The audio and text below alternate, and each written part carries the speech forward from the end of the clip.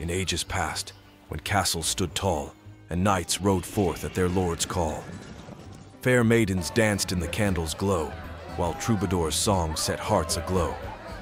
In battle's fury, swords clashed and rang as minstrels' tales of heroes sang. Yet shadows lurked in the depths of night, where darkness battled against the light. Through chivalry's code and honor's decree, the White Knight era, a sight to see. With legends born and legends slain, in the tapestry of time, it shall remain. Welcome to Kinndraill.